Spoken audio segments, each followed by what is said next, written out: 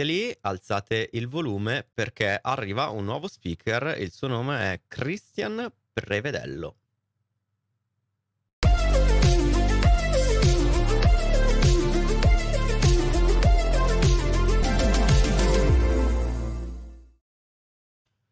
Eccoci qui, buongiorno. Ciao, buongiorno. Ci senti forte e chiaro? Sì, fortissimo. Alla grande, alla grande. Quando ho letto il tuo profilo ho detto, oh, finalmente qualcuno che ci farà pentire di aver scritto delle applicazioni, perché di solito la sicurezza è proprio quell'elemento in azienda che ti dice forse questa cosa era meglio se non la facevi, no? Perché ti fanno pentire di aver scritto quel codice. No, ovviamente ne parlo con ironia, però effettivamente il tema uh, di questo slot è security, dico bene Christian? Sì, corretto. Ok, andiamo a parlare un po' di Vault, che è un prodotto di HashiCorp, open source, e perché gestire i segreti nel mondo cloud um, è qualcosa che è importante proprio perché eh, ci sono nuovi impatti su come eh, la liberazione di un segreto, lo sconfessare un segreto, una password o qualcosa può propagarsi e generare eh, dei problemi più grossi di quando eravamo ancora con le vecchie macchine virtuali gestite una ad una. Quindi eh, okay. Christian è responsabile eh, di architettura e DevOps e non so, vuoi dirci qualcosa di te? Ti introduco io, come preferisci? Ah, come preferisci, insomma io vai, vai, allora sono... io ho già parlato parecchio. Ok, perfetto. So okay, che tu ti... arriverai. Ti ringrazio. Vai, di, dici due parole di te. Allora, io sono Cristian Prevedello, sono responsabile ufficio architettura DevOps e sicurezza applicativa in Previnet, sono in Previnet da svariati anni e negli ultimi, diciamo, due anni e mezzo, appunto, mi sto occupando di quella transizione digitale dal mondo un po' più legacy, appunto, VM, applicazioni monolitiche gestite in un determinato modo, eh, verso applicazioni cloud native, eh, anche se poi in realtà tutte le nostre applicazioni le stiamo facendo girare sul nostro data center, perché abbiamo un data center proprietario, quindi gestiamo tutto on-premise, non usiamo cloud come poi spiegherò.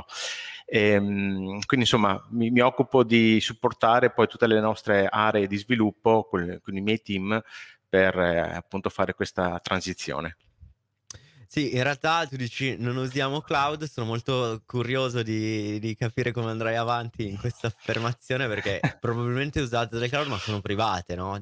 Giusto? Immagino bene. In realtà abbiamo proprio il nostro data center in provincia di Treviso, quindi i, i nostri server sono a un piano Ok, di... sì, no, stiamo dicendo più o meno la stessa cosa, nel senso che il cloud non è, che è veramente sì, nuvole, cioè del ferro da esatto. qualche parte. Solo è del ferro, esatto, però non solito... è dei cloud provider tipo Amazon, Google, esatto. Cioè, le definizioni no, ci collocano lì, in realtà è un tema molto molto più ampio. Corretto. Che, che, vale la pena frequentare per avere dei punti di vista diversi.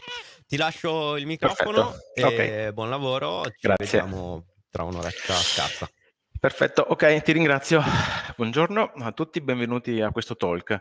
E, giusto per collocare poi insomma, l'azienda e il lavoro che facciamo, noi abbiamo circa 180 sviluppatori divisi in 15 team un po' fluidi perché poi cambiano allocazione, divisi in tre aree geografiche, nord, est, nord-ovest e al sud.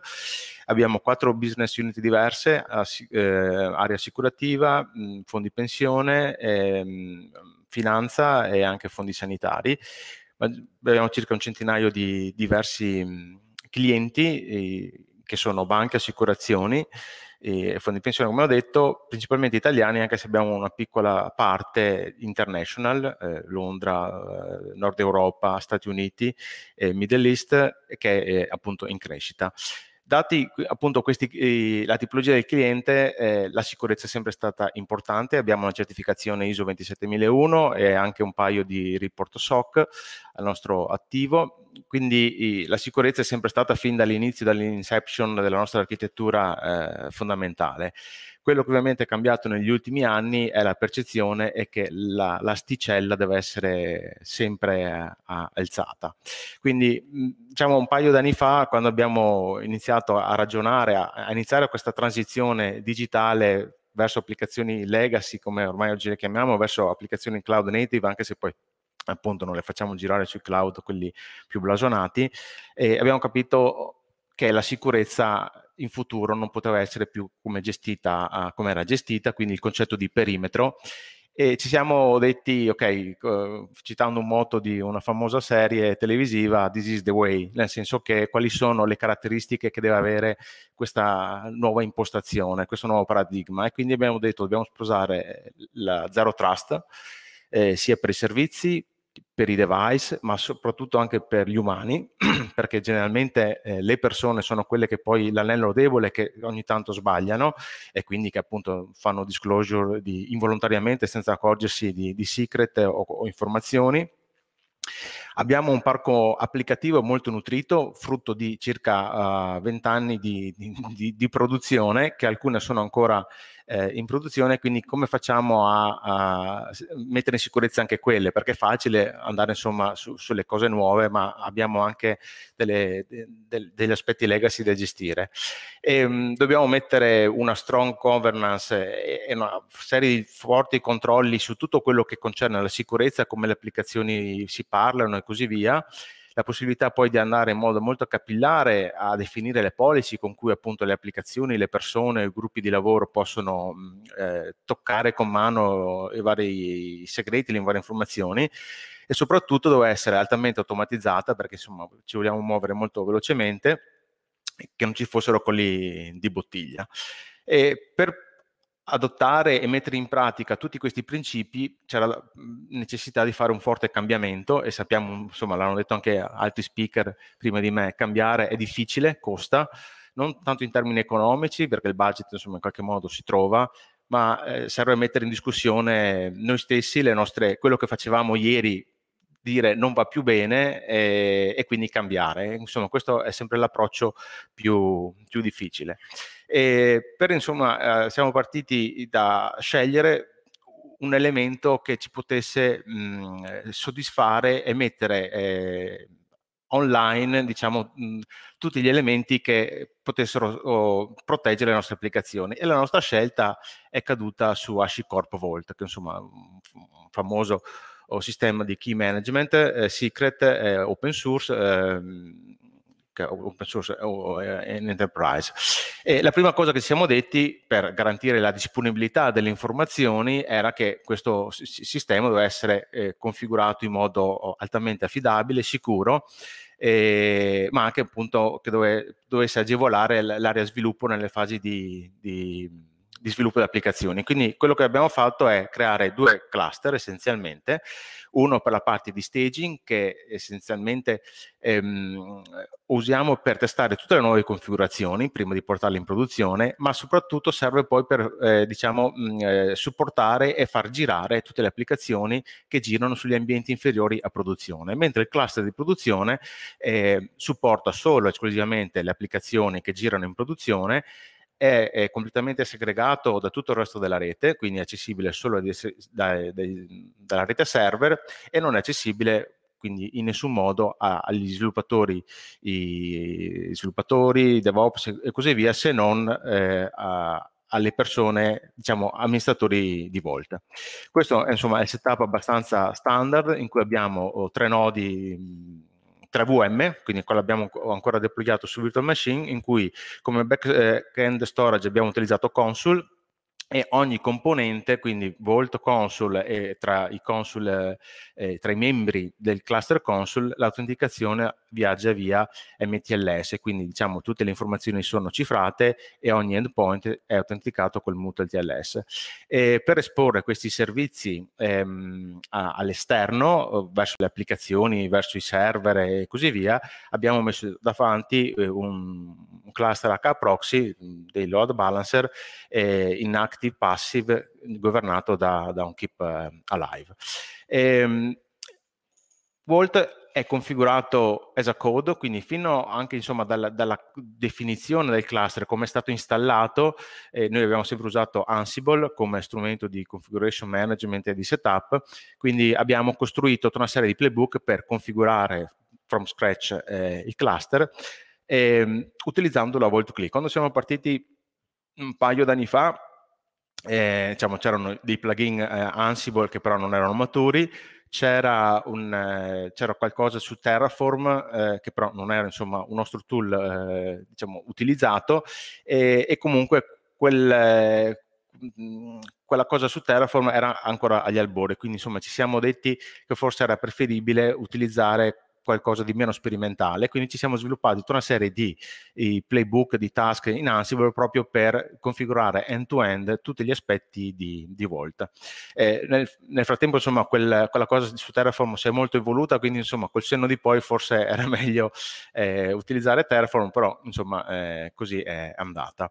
Le configurazioni sono indepotenti, nel senso che noi possiamo mh, mm, eh, far girare n volte eh, i nostri playbook di configurazione e riporta sempre nel nello stesso stato desiderato le, la configurazione di Volt. La caratteristica particolare è che mh, questa configurazione avviene con gli unseal tokens, cioè che sono quei token che consentono di avere eh, di sbloccare Volt dopo un restart oppure per avere un root token. Questo perché eh, ovviamente Volt è stato configurato con l'accesso in LDAP per chi diciamo per l'accesso normale agli amministratori di Volt via password Active Directory però essendo Active Directory in un perimetro di sicurezza inferiore a Volt, potenzialmente un amministratore di Active Directory si sarebbe potuto dare diciamo, il, il, l'accesso come amministratore di Volt. Quindi per evitare che ci fosse questo problema, abbiamo individuato un numero limitato di amministratori Volt e solo loro possono diciamo, configurare, modificare la configurazione di Volt tramite gli Ansil Tokens. Tutto ovviamente comunque è commitato su, su Git eh, e, e, versionato. Lo scope diciamo, della configurazione day by day, eh, che insomma non è che poi su, ogni, ogni, giorno noi facciamo una configurazione su Volt, perché insomma siamo arrivati a un punto abbastanza maturo, consiste comunque in policy delle applicazioni, in role, faccio un, un una nuova applicazione e in modo più, più, raro dobbiamo configurare new secret engines oppure integrazioni con qualche altro sistema, però diciamo il focus è nuove policy o, o aggiustamento di policy perché devo gestire un'integrazione nuova fra due applicazioni e, nuovi ruoli. Se Volt è completamente segregato mh, e non è accessibile agli sviluppatori, eh, come fanno i team a operare con Volt? Okay? Quindi eh, noi abbiamo sviluppato internamente eh, una nostra piattaforma di GitOps che diciamo, non solo supporta e gestisce la parte di Kubernetes, ma è nata soprattutto per gestire una parte importante legacy di tutti i servizi, applicazioni, infrastruttura che sta fuori Kubernetes, quindi virtual machine. Quindi quello che succede è che quando io ho bisogno di un secret, ho bisogno di creare un secret per un'applicazione, eh, un dev fa un push di uno YAML su un repository, è in ascolto eh, la nostra piattaforma di GitOps che è composta da Jenkins e una serie di eh, playbook Ansible, è in ascolto la nostra piattaforma di GitOps che capisce che tipo di secret è, eh, individua chi è l'owner che deve approvare, che deve approvare quella richiesta, oppure magari è, è richiesto di inserire un secret ad hoc. Quindi ehm, eh, la piattaforma di GitOps manda una notifica al DevOps o al secret owner che tramite sempre Jenkins, op, Jenkins eh, inserisce o approva la, eh, la richiesta. Dopodiché eh, sempre Jenkins accede a Vault per le parti di competono, magari devo staccare un nuovo certificato, devo creare un'utenza un, un, e la via così, e poi porta a bordo dei gli end system, dei target systems, il secret, il certificato piuttosto che eh, qualche password se devo portarla. Quindi in questo modo abbiamo disaccoppiato l'accesso non solo a Vault, ma anche ai target system. Non ho ne- nemmeno più necessità che il mio DevOps o la- il sistemista si colleghi al l- sistema finale per portare a bordo un secret. Il tutto viaggio su un canale totalmente protetto, quindi riduco il, il rischio di disclosure, di, di, di, compromettere il mio secret, eh, ma anche di, poter, di dover accedere al sistema e quindi magari poter vedere ehm, eh, i secret che magari non, non mi competono. E cos'è che noi oggi mettiamo in, in, sicurezza? Abbiamo essenzialmente molte web applications, servizi, abbiamo applicazioni batch, quindi quello che mettiamo in sicurezza è il traffico tra servizi diversi, tra applicazioni diverse, con TLS, quindi parliamo di HTTPS. Eh, mettiamo in sicurezza il traffico tra queste web application e utenze interne, diciamo il, il, il traffico che viaggia all'esterno del nostro data center dei clienti finali che stanno fuori dal nostro data center, quello ovviamente è sempre protetto in HTTPS, ma con dei certificati, quelli pubblici e non gestiti invece eh, dalla nostra private key infrastructure eh, di Vault. E mettiamo in sicurezza eh, la connessione tra i servizi e i vari tipologie di database, Postgres eh, o Mongo, utilizzando PG Bouncer eh, per la parte Postgres, Envoy invece per la parte di Mongo, oppure eh, in modo molto similare la connessione tra servizi e, e Kafka, sempre via, via Envoy. L'autenticazione, quindi qua stiamo proteggendo il layer di trasporto. Come, identif come identifichiamo due, i due endpoint eh, da una parte e dall'altra, perché non vogliamo più trastare perché siamo all'interno di un perimetro di, di, sicurezza server, quindi dire vabbè tu mi dici che sei tizio e sei tizio, ma vogliamo eh, autenticare puntualmente qualsiasi connessione. Quindi quando io mi collego al database, l'applicazione verifica che il data server abbia un certificato valido, in questo caso, e il data server verifica che l'identità del chiamante eh, è abilitata, perché arriva attraverso un certificato, abilitata a accedere a un database. Quindi per, eh, via MTLS autentichiamo le identità dei servizi chiamanti per chi si collega al database eh, o Kafka.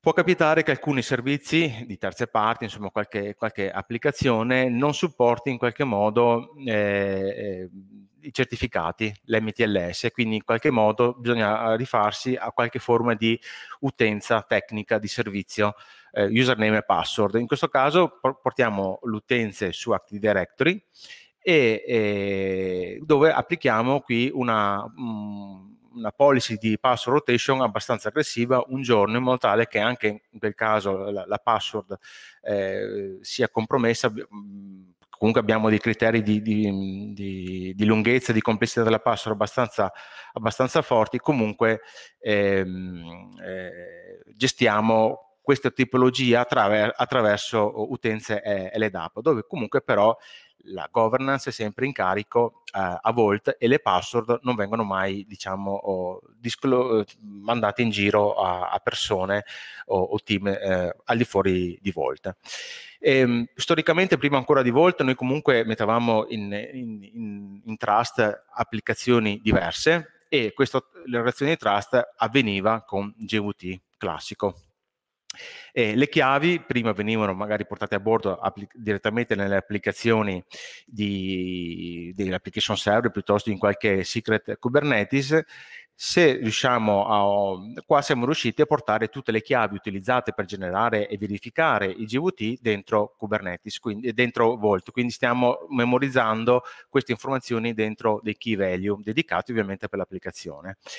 E cerchiamo ovviamente di evitare, però sappiamo benissimo che non, non possiamo tutto gestire attraverso Volt, ad esempio abbiamo bisogno di una credenziale di un cliente per accedere a un sistema di un cliente oppure viceversa dobbiamo dare una credenziale eh, a un cliente perché accede ai nostri sistemi, quindi tutti quei secret che non possono essere dinamici li mettiamo comunque dentro come eh, all'interno dei key value engine di, di Volt.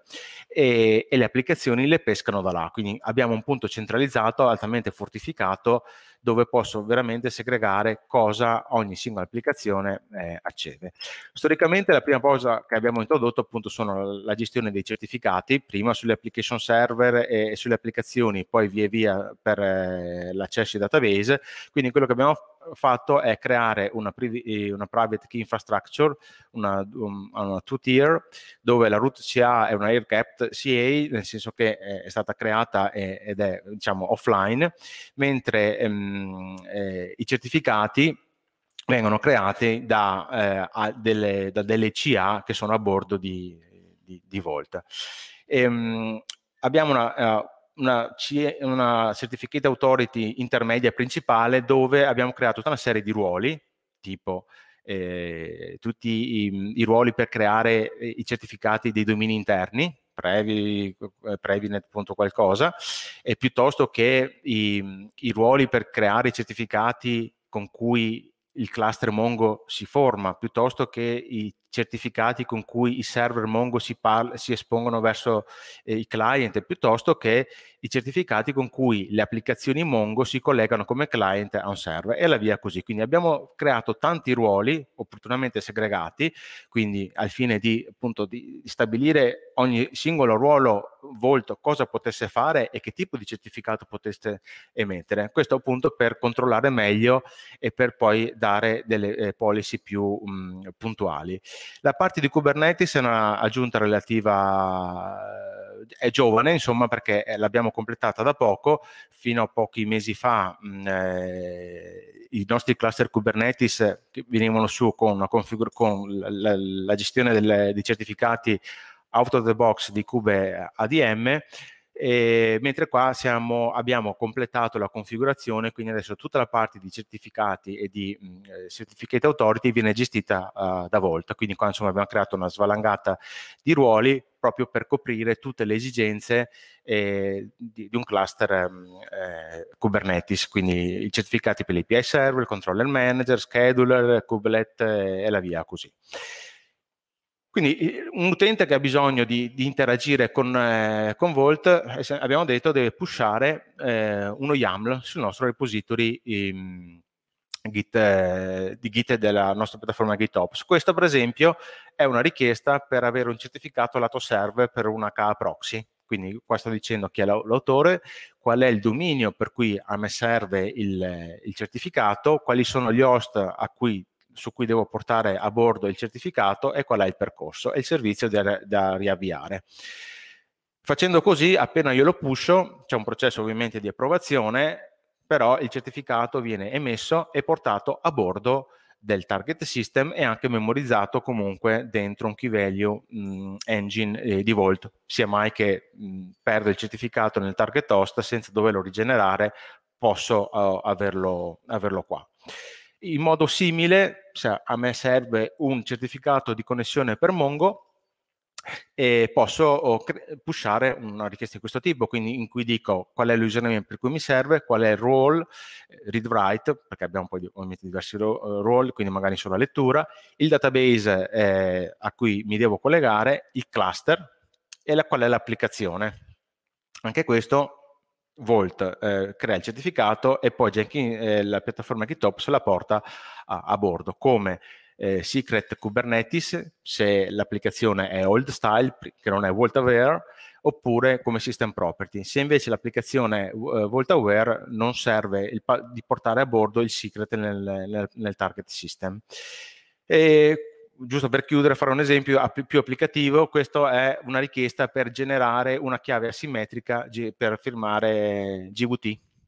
Quindi qua sto dicendo qual è il percorso su cui la chiave asimmetrica in questo caso viene generata dalla piattaforma di GitOps e viene memorizzata dentro Volt. Quindi qua devo specificare quali sono i percorsi per la chiave pubblica e privata, come si devono, come, qual è la, la key con cui devo chiamare, il tipo di chiave è S512 e se voglio portare a bordo la chiave pubblica o privata, in questo caso vogliamo portare a bordo la privata dentro un'applicazione, posso diciamo estendere, decorare la mia richiesta con delle altre parti. In questo caso sto dicendo guarda che la parte privata me la devi portare come system property dentro Wildfly per questa applicazione. Quindi il nostro sistema sa benissimo dove la mia applicazione è deployata e senza che io debba fare niente, la, la, il JVT, la chiave JVT che privata che è stata generata in questa richiesta, oltre ad essere memorizzata su, su Volt, viene portata dentro l'applicazione. Questo ci ha consentito in qualche modo di passare a Volt senza che le applicazioni se ne accorgessero. Cioè, anche se la mia applicazione non è aware di Volt, eh, ma era abituata a leggere la system property, continua a leggere la system property, solo che quella, eh, quella, quel segreto non è più portato a bordo da qualcuno manualmente, creato manualmente, portato a bordo da, da qualcuno, ma è tutto um, automatizzato. Ovviamente quando parliamo di certificati c'è tutta la parte di rotation, quindi ogni giorno noi abbiamo un job che va a scannerizzare quello che è stato memorizzato dentro oh, il nostro repository eh, Git di, degli YAML e, e, quindi verifica quali sono, stati, quali sono, i certificati che sono stati emessi eh, nel passato. Quindi viene fuori con una lista e va a, a controllare eh, sistema per sistema eh, lo stato del certificato se sta scadendo o, o se è ancora valido. Noi eh, abbiamo deciso di, ehm, per, eh, adesso la maggior parte dei certificati è a scadenza annuale, quelli per diciamo, lato server, anche se insomma l'anno, con, con, l'autunno vorremmo passare a tre mesi come validità. Eh, oggigiorno comunque siamo ancora su scadenza annuale e 30 giorni prima della scadenza si parte la rotation, quindi nel momento in cui eh, Jenkins, la piattaforma GitOps Jenkins si accorge che un certificato sc- sta scadendo, si attiva per la, la, la rotazione, quindi va da Vault, genera un nuovo certificato eh, e lo porta a bordo del sistema, riavviando eventualmente tutti i servizi eh, o ricaricando, insomma, facendo le operazioni necessarie perché il servizio si possa leggere il nuovo certificato. Dopodiché viene mandata una notifica all'owner del certificato, sia chi ha fatto la richiesta, guarda che è stato ruotato il, il certificato per questi servizi. Noi comunque ogni giorno riceviamo un recap complessivo in cui andiamo a dire eh, guarda che questi sono i certificati in carico alla piattaforma e scadranno eh, ta- il tal giorno, quindi mancano 100 giorni, 99, 98 e così via.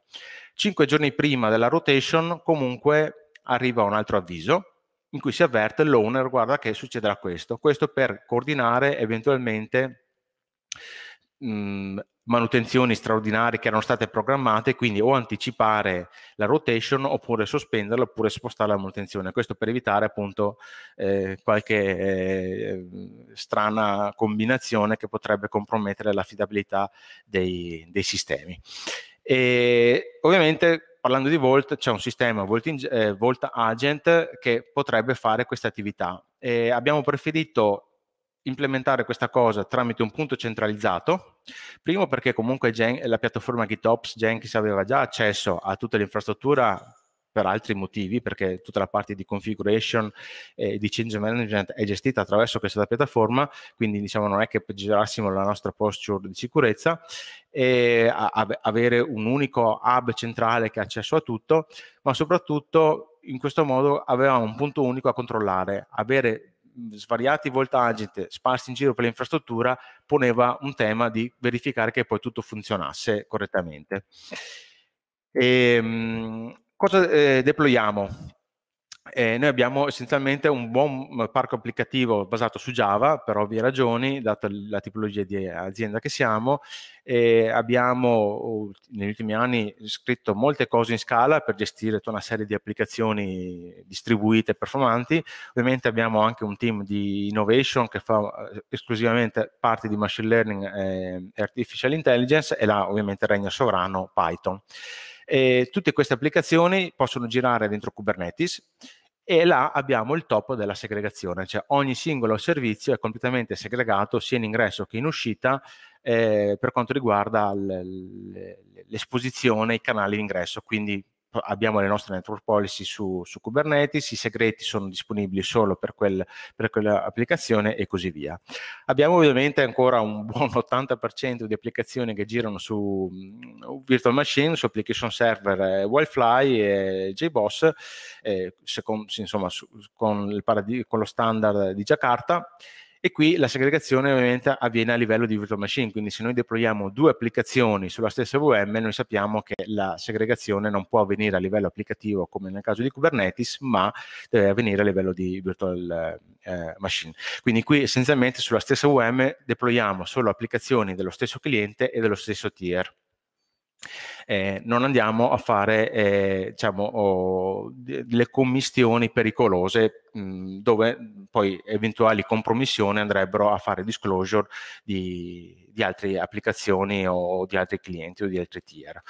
Eh, per ogni applicazione su Volt abbiamo un'area privata eh, key value dove possiamo mettere tutti i segreti che solo l'applicazione può vedere quindi le private key, piuttosto che i certificati, piuttosto che qualche password, e abbiamo un'area pubblica, tipo le public key di GVT, dove qualsiasi applicazione autorizzata, anche se è roba pubblica, quindi non succede nulla se qualcuno eh, ci accede senza, senza essere autorizzato, però nonostante questo noi comunque andiamo a dettagliare chi può accedere a queste public. Quindi se io devo mettere in comunicazione due applicazioni via una chiave asimmetrica GVT, un'applicazione avrà, avrà, la sua private key, un'altra applicazione andrà a leggersi la, private, la, public key dalla relativa area e quindi possono verificare che i GVT che ricevono siano effettivamente le applicazioni chiamante.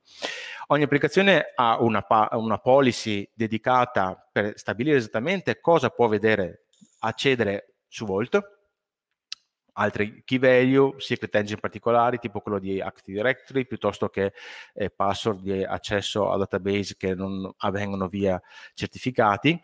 E ovviamente, siccome la configurazione di Volt è un punto delicato e abbiamo un numero limitato di persone che lo possono fare, cerchiamo di limitare al massimo quel, quel passaggio anche perché insomma c'è una, una, fase di review de, de, delle richieste.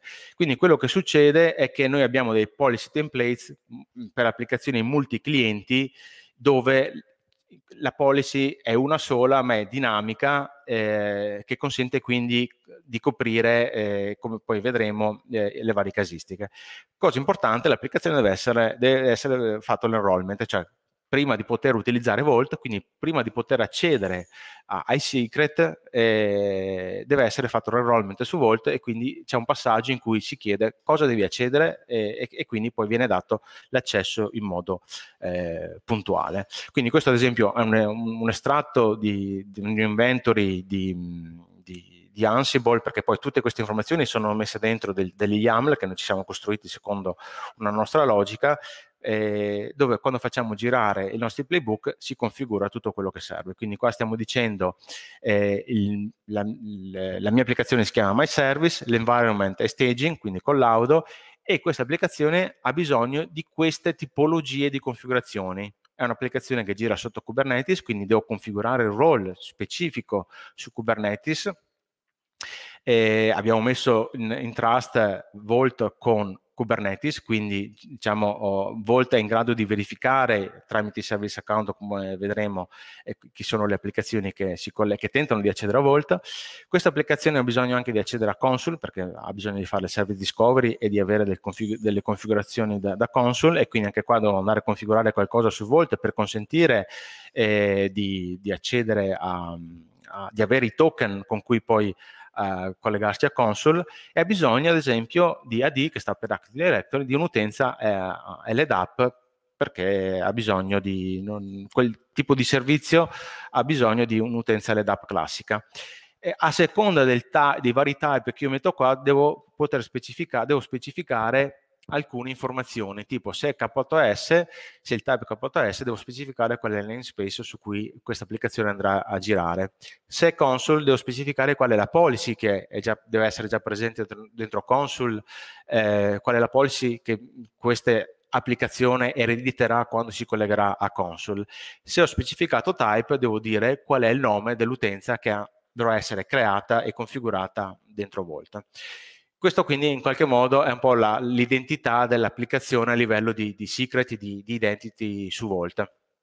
Questa è la policy associata e qua, come dicevo, abbiamo due passaggi. Le policy sono uguali per tutti gli ambienti, cioè quindi una volta che noi abbiamo fatto una policy per l'ambiente di test, questa può essere portata nell'ambiente di staging, UAT, produzione o, o altri ambienti che abbiamo non vogliamo modificare le policy di volta in volta, perché poi ogni volta che facciamo una modifica eh, possiamo sbagliare.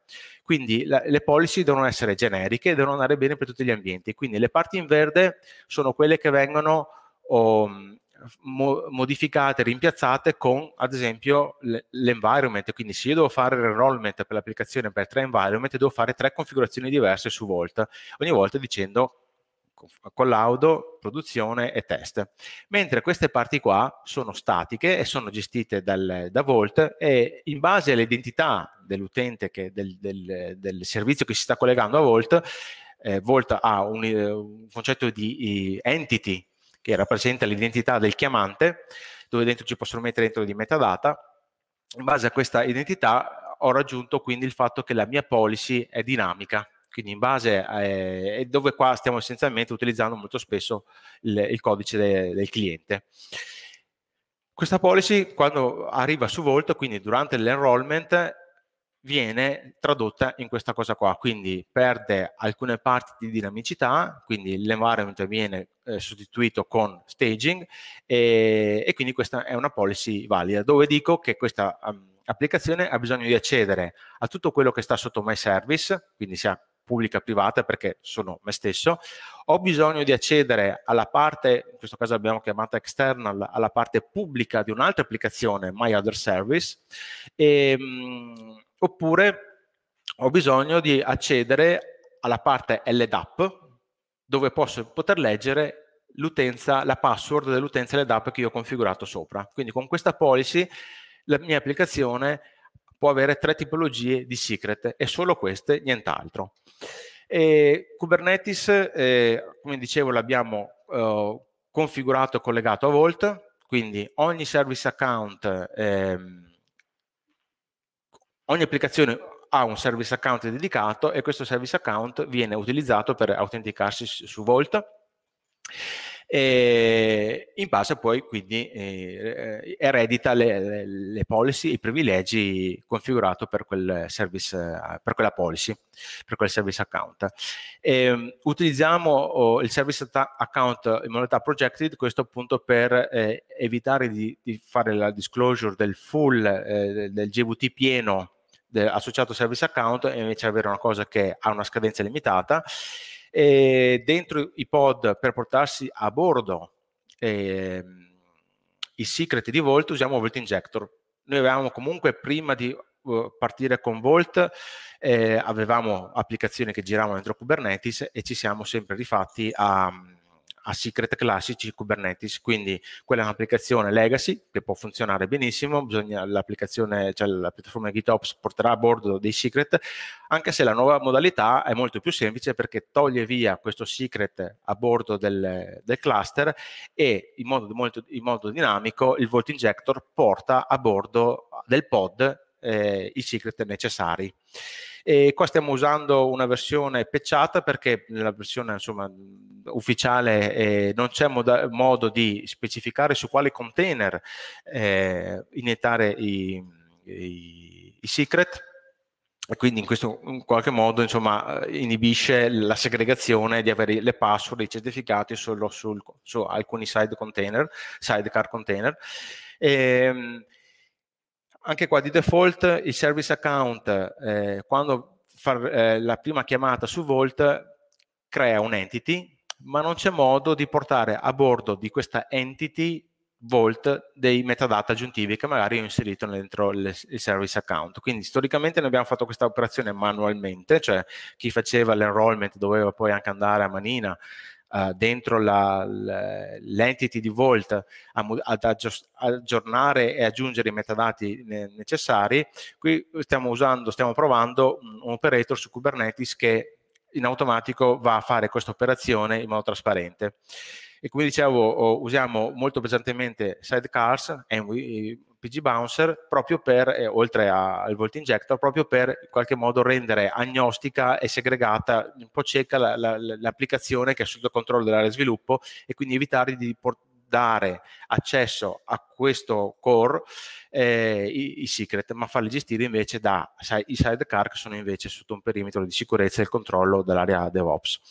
E ogni applicazione ovviamente ha dentro eh, eh, gli Helm Values, tutto quello di cui ha bisogno. Quindi nel momento in cui i, noi facciamo il deploy di un'applicazione su Kubernetes, gli YAM prodotti, i, quindi la parte di Vault Injector, si autoconfigura con quello che è censito dentro gli Values che in qualche modo devono battere con quello che c'è scritto nella policy. Se io anche nel, dentro, c'è un processo di review e di approve della, mm, eh, di questi Helm chart, di questi Helm Values, ma anche se sfuggisse qualcosa, se poi non c'è la policy abilitata, io posso richiedere secret eh, di cui non sono titolare e comunque questi non verranno giù perché poi Bolt eh, li blocca. E su Jakarta il modo di, il metodo di autenticazione è basato su GVT, qui è un po' più tricky perché non possiamo sfruttare l'infrastruttura di Kubernetes, quindi quell'automatismo che mi crea i service account, tutta la parte di GVT, quindi in questo caso è a carico nostro e qui abbiamo oh, eh, dei job specifici che creano questi GVT di autenticazione e li portano a bordo delle applicazioni e qui abbiamo adottato due strategie. Storicamente, prima di Volt, le applicazioni leggevano da system property i secret e quindi abbiamo i job che possono portare a bordo queste system property oppure abbiamo um, eh, diciamo, potenziato il client che magari qualche applicazione esponeva ad altre applicazioni per collegarsi al servizio, abbiamo potenziato in modo trasparente questo client per poter eh, automaticamente andare su Volt usando il GVT di qui sopra, scaricarsi i secret e quindi in qualche modo far sì che l'applicazione chiamante non si accorgesse di nulla. Prima usava un client con delle determinate API, usa le stesse API, sotto c'è stato oh, un inject di questo codice eh, che appunto si preoccupa di interfacciarsi con Volt. E nel caso molto raro, perché insomma poi è abbastanza difficoltoso gestire, possiamo usare anche dei sidecars all'interno della stessa virtual machine, quindi lanciare a manina eh, tramite servizi systemd, PG Bouncer, Envoy, oppure se dobbiamo proprio isolare al top della security, usare il sidecar eh, su un'altra VM. Diciamo, questi due ultimi punti sono fattibili, ma cerchiamo di limitare perché ha un effort in termini di di, di, setup, di mantenimento, di monitoraggio non, eh, non banale. L'enrollment in un'applicazione Jakarta è molto simile, diciamo, è un po' più stringata perché ormai insomma eh, su Jakarta noi non stiamo più sviluppando cose nuove, abbiamo applicazioni legacy, quindi abbiamo messo in sicurezza l'ESIS, ma tutti i nuovi sviluppi li stiamo facendo come microservizi dentro Kubernetes e quindi però comunque ci aveva fatto il reload dell'applicazione, qua come vedete il type in questo caso è Wildfly, non è più Kubernetes, quindi c'è un setup diverso dei role di GVT e, e, questo ad esempio è una richiesta per la nostra piattaforma GitOps per portare a bordo il GVT di un'applicazione che gira su Wildfly per poterci collegare a, a, a Volt. Quindi noi è, un percorso perché insomma non è che abbiamo fatto tutta questa attività in, pochi mesi, eh, è un lavoro di due anni che non è ancora insomma, finito perché poi il security is never enough. Eh, dove siamo arrivati?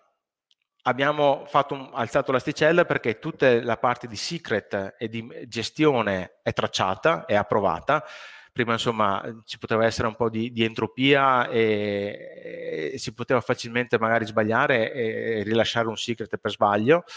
E, ehm, tutti i secret sono memorizzati in un posto centralizzato dove c'è un, un controllo molto puntuale. Tutti i secret vengono um, eh, tra, trasmessi in canali sicuri e generalmente mai visibile agli utenti consentiamo una uh, easy rotation, cioè possiamo ruotare le password certificati in modo molto semplice. La parte di Kubernetes, per esempio, giusto per insomma, vedere se poi la, la, cosa stava in piedi, ruotavamo i certificati in testa ogni due giorni. Quindi c'era una rotazione eh, di una trentina di certificati ogni due giorni, I, cosa che se doveva esserci una gestione manuale era impensabile. Ma soprattutto abbiamo, grazie a Volt, un auditing eh, molto migliorato rispetto a prima, cioè su Volt esattamente capiamo e vediamo chi accede e chi cosa fa. E, prossimi passi, insomma, vogliamo oh, portare eh, Volt dentro Kubernetes, quindi abbandonare la parte di virtual machine, cambiare backend storage, usare quello nativo di Volt, eh, rimpiazzare la nostra piattaforma di GitOps basata su Jenkins con dei, degli operator Kubernetes, perché adesso G, eh, Jenkins essenzialmente ha la chiave di tutta l'infrastruttura, le chiavi per accedere a tutta l'infrastruttura. E, e, questo insomma non, non, ci piace molto, gli accentramenti di potere sono sempre problematici, quindi quello che invece vogliamo fare è spezzare tutti questi job e farli girare dentro Kubernetes dedicato uh, alle operations eh, che farà tutto questo lavoro. Io penso di aver fatto esattamente 45 minuti, quindi sono stato giusto in tempo. Ti confermo che sei stato precisissimo, anzi, avendo chiacchierato un attimo all'inizio, sei stato anche pre 45 minuti. Benissimo, direi, direi bel talk anche il tuo, finalmente una vista pratica su questo tema che è un tema che affrontato così sembra facile, soprattutto mh, mm, quando hai detto poco fa Sì, facevamo delle rotazioni di tutti questi certificati in maniera automatica e tu lo dicevi con una leggerezza, eh, simulazione di cose che era impossibile fare a mano. Probabilmente questa, questo percorso che avete fatto vi ha portati in questa situazione, ovvero tutta questa consapevolezza che ho visto nel talk non viene gratis, ma è il risultato di un processo eh, che non solo riguarda la security come, eh, come, eh, come, dipartimento aziendale, perdona la semplificazione, ma deve permeare tutte, tutti gli ambiti, tutte le competenze che, che ci sono in azienda, immagino. Sì, è stato un percorso abbastanza difficile, eh, perché poi, come hai detto tu, è trasversale, quindi impatta diverse aree, la, la, cultura aziendale, quindi non è stato facile. Io, insomma, adesso diciamo, cioè, noi ci ridiamo su, riusciamo a fare certe cose, però in realtà eh, è stato frutto del, di diversi team di lavoro eh, di sudore, diciamola così.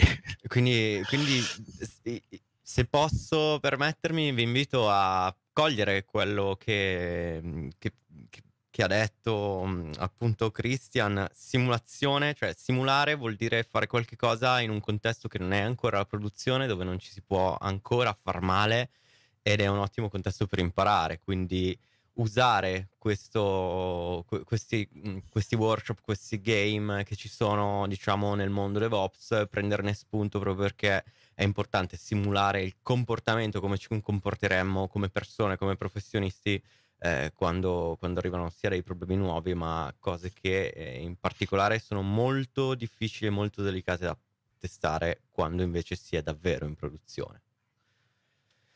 Ehm, domande invece ne abbiamo, stanno arrivando e eh, ne abbiamo due di Leonardo che eh, prova a prendere in ordine per il come sono state scritte. In parte ad una hai già risposto durante la presentazione, ma magari facciamo un, una chiosa, cerchiamo di fare un recap. Applicazioni Volt non, non Volt aware, quindi che non conoscono Volt dal punto di vista applicativo, non hanno magari la possibilità con API di libreria di interfacciarsi con Volt, e quindi c'è un po' più di frizione nel farlo. Um, come effettuate il deploy dei segreti? Ansible o simili? E, ehm, eh, in questo caso noi eh, abbiamo sempre cioè la nostra piattaforma sotto usa Ansible. E quindi abbiamo sviluppato dei, dei task, dei playbook che si collegano proprio al cluster Kubernetes e creano il secret piuttosto che collegarsi all'application server e, e, creare la system property con il valore del, del secret. Quindi questa parte è automatizzata, eh, non appena io appunto pusho quel, quello YAML che ho visto all'inizio, eh, questi Ansible operano e, e, si collegano direttamente al, al, cluster e fanno quello che devono fare. Per raggiungere quella situazione sì. descritta Corretto. as a code. Ok, la seconda parte è sempre di Leonardo che chiede, eh, avete del monitoring attivo sull'audit log di Vault? Avete anche delle azioni di automatic remediation? Se allora, qualcosa di molto brutto. Eh, sì, diciamo che eh, l'audit, eh, nel momento in cui vengono fatte le richieste non diciamo lecite, Volt risponde 400, 403 e così via. Quindi noi abbiamo essenzialmente delle sonde che, capi- che monitorano le richieste, ver- quindi non a livello di audit di file, ma a sì. livello di API invocate verso Volt. Quindi eh, generalmente questo succede nei, nei, primi deploy, quando magari la, la, policy non è giusta e qualcuno sta chiedendo appunto un secret che non era stato autorizzato eh, si alza la bandierina sul nostro sistema di monitoraggio perché abbiamo un numero anomalo di richieste che vanno in errore su volte, quindi quella sempre è una spia di qualcosa che, che non va. Quindi questo diciamo, è un presidio ehm, primario, cioè una spia. E abbiamo poi la possibilità di, di analizzare il, i log di audit di, di Volt per stabilire quello, che quello che succede. Ad esempio abbiamo anche poi altre fonti di sorgenti per capire eh, cosa succede. Sto parlando uh, delle, delle, pubblicazioni in esterno dove abbiamo magari un, un WAF e là abbiamo dei log che dicono guarda che sta succedendo questo, quindi questi log qua possono confluire all'interno di, nostra, di un nostro sistema di, di, security, di analisi, che poi anche quello alza le, le bandierine. Quindi ci sono diversi presidi, quello più diciamo mh, significativo e immediato è quello degli errori su Volt, perché se c'è qualcosa che non va, Volt lo segnala subito. Capire eh, da, qualcosa dall'audit è più un analytics che sono dei pattern che magari emergono, ma quello avviene in un secondo momento e tra virgolette offline. Ok, ho capito. Eh, è capitato anche a me di mh, avere a che fare con questi temi mentre parlavi, mi ricordo le prime volte che usavo Volt, era un po' di tempo fa ormai, ma uno degli errori che, che commettevamo, che abbiamo commesso come team era eh, non considerarlo come un punto di um, un single point of failure, ovvero deploy magari 500 istanze uh, di container nello stesso momento e ovviamente quelle sono 500 richieste a Volt nello stesso momento che ha bisogno di rispondere ad avere un'infrastruttura dietro. Non so se anche voi è capitato di... Eh, Ma eh, sì, diciamo che dover dimensionare il carico sì, sì. verso Volt quando hai tante applicazioni. Per adesso, adesso, noi abbiamo appunto 3, 3 VM, lo, lo, storage è quello che poi impattato, che è Consul. Quindi, ok, più lo storage forse. È lo storage, quindi non è tanto Volt che è abbastanza stateless, è lo storage sottostante, in questo caso Consul, che è quello che è stressato. E per adesso insomma abbiamo carrozzato adeguatamente tutti i servizi, quindi sebbene abbiamo un numero elevato di, di applicazioni, per adesso insomma non dà ancora segni di cedimento. Quindi Okay. Però anche qua poi abbiamo tutta una serie di metriche, capiamo quanto ci impiegano le, le API a rispondere, quindi i, cerchiamo di, di, cogliere dei segnali. I golden di... signals, come esatto, sono chiamati esatto, nel mondo sì. SRE, che sono Corretto. i delays, i, esatto. i, tempi di risposta e altri che non mi ricordo in questo momento, li ho citati, ma... E, ehm, ok, l'ultima domanda che c'è, siete ancora in tempo per farne se volete, sempre sulla tab QA. E, um, ci avviciniamo al pranzo, ma c'è ancora qualche minuto. C'è un anonimo che ci chiede, questo credo sia forse più una curiosità, um, avete in programma una migrazione completa a Kubernetes nel medio termine? Eh, medio termine significa che bisogna definire medio termine. Diciamo che E entro il primo trimestre dell'anno prossimo noi vorremmo oh, portare Volt dentro Kubernetes in toto, quindi abbandonare eh, la cosa perché oggigiorno tra l'altro Volt per l'alta affidabilità abbiamo un sito disaster recovery, I, stiamo lavorando e il progetto è concluderlo entro l'anno di abilitare una business continuity quindi in questo caso il eh, far distribuire Volto su un altro sito geografico in unità ABC è completamente diverso da un DR. Quindi il fatto di farlo girare dentro Kubernetes secondo me ci agevola anche in, in quel senso. Quindi l'idea è quella proprio di, di, fine anno, primo trimestre dell'anno prossimo, di abbandonare anche per la parte di, di VM eh, su Volt e portarlo dentro su Kubernetes. Ok, quindi anche qui astrarre dai suoi vantaggi per rendere sì. le cose as a service. Corretto. Eh, sì, soprattutto se pianificate di avere più siti. Quindi... Sì. E, ehm, ok, grazie anche per questa risposta. Uh, manca ancora qualche minuto, ti chiedo allora qualcosa io, uh, visto che hai raccontato un'esperienza, quindi proprio qual è stata la, la, vostra journey per arrivare qui dove siete. Ti chiedo, anche tu l'hai citato, l'hai detto, intradetto nel talk, eh, poi questa cosa l'abbiamo scoperta a posteriori, no? Cosa faresti diverso mm, di, tra, di tutte le cose che invece hai, hai scoperto in questi mesi, anni? Eh, è facile poi dire in generale. È facile? è facile, diciamo, cosa cambiare. È facile eh, adesso, è facile adesso. qualcuno l'ha già fatto. in realtà noi all'inizio quando siamo partiti cioè, c'era questa idea, I, i, i, key points messi all'inizio avevamo, magari non erano scritti, ma ce li avevamo in mente dove volevamo arrivare. Okay? I, come forse non era ben chiaro, quindi abbiamo avuto ad esempio l'integrazione con le applicazioni Jakarta, eh, era, la prima non è uscita proprio bene, la seconda un po' meglio, la terza è buona, però eh, anche quella eh, forse se, se, facessimo una quarta la, la, aggiusteremo. Quindi la parte di Kubernetes secondo me non cambierei niente perché alla fine è nata buona la prima, abbastanza. E tutta la parte legacy, quindi con l'autenticazione su GVT, quella mi la, lascia un po' a desiderare quello che abbiamo fatto anche in termini di configurazione, di, di tooling che abbiamo messo in piedi, proprio perché comunque il sistema è un po' ostico, non è proprio predisposto per essere cloud native. E, e anche noi non avevamo ben chiaro come porsi nei confronti dell'area sviluppo. E tutta la parte nuova, diciamo Python su Kubernetes, Scala, avevamo dei team eh, molto diciamo, evoluti dove è stato facile in qualche modo portarli a bordo.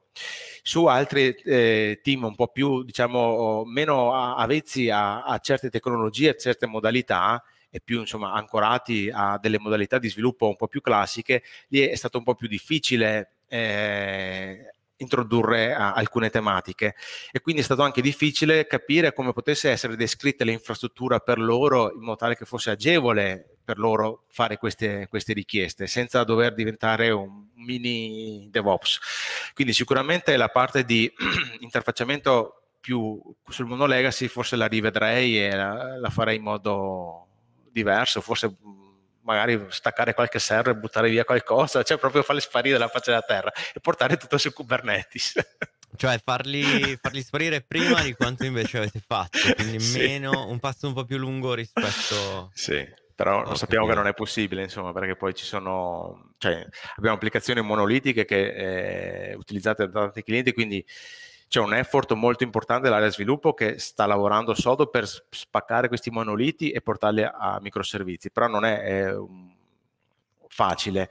Quindi forse là, ecco, cercherei di velocizzare e, e cercare eh, forse fare un passo, come hai detto giusto tu, un passo più lungo, eh, che però hai sempre il rischio che poi se è troppo lungo rischi di naufragare. Di male. Eh sì, perché esatto. poi dipende, tu hai detto poco fa, avevamo dei team molto skillati su tutta una serie di, eh, di questioni applicative che abbiamo affrontato e se dall'altra parte invece questa skill deve ancora formarsi, quindi non c'è e bisogna imparare, eh, forse in quel caso ha più senso fare passi più corti. E mh, appunto, quindi mh, magari è difficile generalizzare, l'idea è se dall'altra parte hai la possibilità e l'interesse per rilasciare 100 volte al giorno fai un passo e le capacità per rilasciare 100 volte al giorno fai un passo lungo, in modo sicuro ovviamente, eh, se eh, vogliamo invece andare sul cloud semplicemente perché l'abbiamo sentito dire ma non siamo ancora pronti, anche se domani avessimo, ne vedo un sacco di aziende che in pochissimo tempo si spostano sul cloud ma in realtà lavorano in Scrum, fanno un rilascio ogni due settimane oppure ogni mese o magari c- con il vecchio Gantt pur essendo su cloud, no? Quindi uh-huh. le cose vanno di pari passo, altrimenti si rischia di andare veramente a due velocità dove sì, l'infrastruttura è pronta, siamo pronti a ragionare per cloud, a deployare as a function in maniera sicurissima, però stiamo ancora pensando a, a Gantt, no? Con sì, il sì, sì. modello, quindi e, e dall'altra parte m- mi chiedo sempre, ok, però se non iniziamo con un passo lungo, e, e, forse nella seconda situazione, quindi quella in cui abbiamo, non siamo pronti come mentalità, eh, forse hai ragione tu, cioè azzardare un pochino, fare il passo più lungo, soprattutto se hai dei senior che possono far vedere l'esempio di quello che si può fare con delle tecnologie nuove, no? leading by example un pochino, e sì. quindi qualcun altro vede quella cosa lì e, e, e la fa anche lui.